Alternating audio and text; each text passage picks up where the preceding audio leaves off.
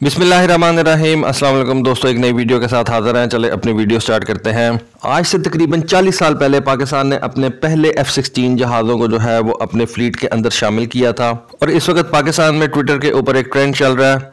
40 years of falcon Pakistan ने उन्नीस सौ बयासी के अंदर अपना पहला F-16 जहाज़ हासिल किया था। F-16 के अपने पहले बैच के अंदर पाकिस्तान एयरफोर्स ने तकरीबन 40 जहाज़ जो थे वो अमेरिका से हासिल किए थे। उसके बाद मजीद जहाज़ों का ऑर्डर प्लेस किया गया। लेकिन वो एक लंबी कहानी है। अमेरिका ने हमें हमारे जहाज़ नहीं दिए। हमारे से 600 मिलियन डॉलर उस वक्त तकरीबन 40 साल पहले 600 मिलियन डॉलर एक बड़ी रकम थी। वो हमसे हथियाली और हमें जहाज़ नहीं दिए। हम उन जहाजों की पार्किंग फ़ीस भी पे करते रहे और उन पैसों के बदले तकरीबन 600 मिलियन डॉलर के बदले जो पाकिस्तान ने पे किए थे, अमेरिका ने हमें सोयाबीन और कुछ और चीज़ें जो है वो सेल कर दी। और अमेरिका ने कहा कि जी, आपका 600 मिलियन डॉलर का जो मामला हमारे साथ था, वो सेटल हो गया। लेकिन फिर अमेरिका को पाकिस्तान की ज़रूरत पड़ी। फिर अमेरिका ने पाकिस्तान को मजीद एफ़ सिक्सटीन जहाज़ दिए। ब्लॉक फिफ्टी के एफ़ सिक्सटीन भी उसने हमें सेल किए। पाकिस्तान एयरफोर्स छत्तीस ब्लॉक फिफ्टी के जहाज़ जो है वो परचेज कर सकती है। लेकिन अभी तक पाकिस्तान एयरफोर्स ने सिर्फ़ अट्ठारह जहाज़ जो है वो परचेज किए हैं। खैर, इस वक्त पाकिस्तान और अमेरिका के हालात कुछ ऐसे भी नहीं है कि हमें अमेरिका जो है वो मजीद अठारह जहाज़ दे सकता है। पोलिटिकल हालात कुछ ऐसे हैं कि अब अगर पाकिस्तान पैसे भी देगा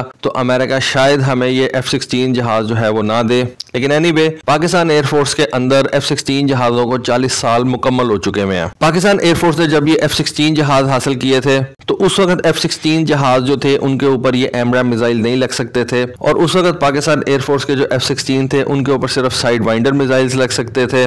और हमारे एफ़ सिक्सटीन के अंदर ऐसा रेडार नहीं लगा हुआ था जो बियॉन्ड विजुअल रेंज मिसाइल्स को जो है वो सपोर्ट कर सके। इस वजह से पाकिस्तान ने एमरा मिसाइल उस वक्त परचेज ही नहीं किए थे। जो लेटर ऑन ऑर्डर हमने परचेज किए थे और वो एफ़ सिक्सटीन हमें नहीं मिले थे। आई बिलीव उनके अंदर ऐसे रेडार्स लगे हुए थे जो बियॉन्ड विजुअल रेंज मिसाइल जो है वो कंट्रोल कर सकते थे, उनको स्टीयर कर सकते थे टूवर्ड्स देयर टारगेट लेकिन शुरू के जो एफ़ सिक्सटीन थे, उनमें ये फैसिलिटी मौजूद नहीं थी। फिर पाकिस्तान एयरफोर्स ने उन जहाजों को एम किया, यानी कि मिड लाइफ अपग्रेड किया। ये सारा मिड लाइफ अपग्रेड जो है ये तुर्की के अंदर हुआ था। और फिर हमारे सबसे पुराने एफ़ सिक्सटीन जो है, वो आज एमरम मिसाइल फायर कर सकते हैं। अल्टीमेटली पाकिस्तान एयरफोर्स ने अमेरिका से 500 के करीब ये एमरम मिसाइल परचेज किए। लेकिन आज मैं आपको जो कहानी सुनाऊँगा ना, वो इन एफ़ सिक्सटीन की पहली किल्स के ऊपर है। एफ़ सिक्सटीन ने अपना जो पहला टारगेट या जो अपना पहला निशाना जो है जिसको टारगेट किया था, वो इसराइल के एफ़ सिक्सटीन ने अट्ठाईस अप्रैल उन्नीस सौ इक्यासी में किया था। और उन्होंने सीरिया का एक M I eight helicopter Lebanon के ऊपर जो है डाउन किया था। ये एफ़ सिक्सटीन की पहली एयर टू एयर किल थी।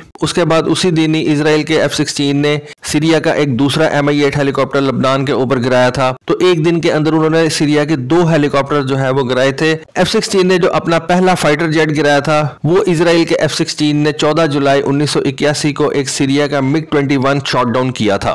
और आई बिलीव कि अभी तक एफ़ सिक्सटीन ने जो अपना आखिरी फाइटर जेट शॉट डाउन किया, वो भी एक मिग ट्वेंटी वन ही है। जो कि पाकिस्तान एयरफोर्स के एफ़ सिक्सटीन ने इंडिया का एक मिग ट्वेंटी वन जहाज़ जो है वो शॉट डाउन किया था।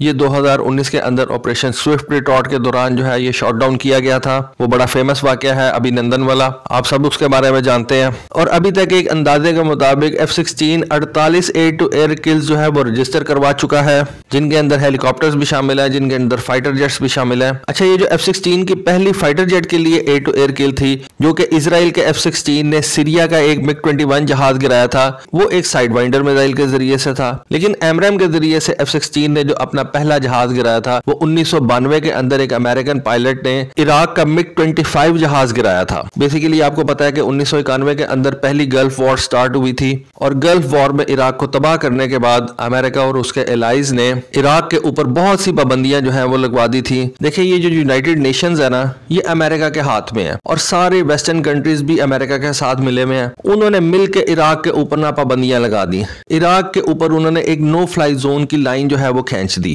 ये जो नो फ्लाई जोन होता है ना अमेरिका बेसिकली ये वीक कंट्रीज़ के खिलाफ ही कर सकता है। कि वीक कंट्रीज़ के ऊपर वो एक नो फ्लाई जोन जो है, वो क्रिएट कर देता है। वहाँ पे बेसिकली क्या होता है कि मसलन एक नो फ्लाई जोन जो उसने इराक के ऊपर क्रिएट किया है, उसका मतलब यह है कि इराक का कोई फाइटर जेट जो है, वो उस एरिया के अंदर नहीं आ सकता। मुल्क इराक का ही है एयर स्पेस इराक की है, लेकिन इराक का कोई फाइटर जेट जो है, वो उस एरिया के अंदर नहीं आ सकता। और उसकी पेट्रोलिंग जो है, वो अमेरिकन एयरफोर्स करती है, या उसकी जो एलाइड एयरफोर्स उस जंग के अंदर शामिल होती है। ब्रिटेन की एयरफोर्स हो गई, या उस वक्त फ्रेंच एयरफोर्स भी जो है वो अमेरिका के साथ शामिल थी तो इन तीनों कंट्रीज़ ने मिलकर इराक के ऊपर एक नो फ्लाई जोन क्रिएट कर दिया। और बोल दिया कि इराक का कोई जहाज़ इन नो फ्लाई जोन के अंदर नहीं आ सकता। अब यहाँ पे एक बात आपको मैं बताता चलूँ कि जब यूक्रेन ने अमेरिका से कहा था कि आप यूक्रेन के ऊपर एक नो फ्लाई जोन जो है उसको क्रिएट कर दें तो उस वक्त अमेरिका पीछे हट गया था। और अमेरिका ने कहा था कि हम ऐसा नहीं करेंगे। पता है आपको क्यों नहीं ऐसा करेंगे? क्योंकि दूसरी तरफ़ रशियन एयरफोर्स थी। और अमेरिका जो है वो रशिया के साथ डायरेक्ट कॉन्फ्रेंट्रेशन नहीं चाहता वो पीछे से छुप के वार कर सकता है। वो सिर्फ़ एक काम कर सकता है कि वो यूक्रेन को जो है वो असला दे, पैसा दे सपोर्ट दे और यूक्रेन जो है वो जाकर रशिया से लड़े। लेकिन जब यूक्रेन ने अमेरिका से कहा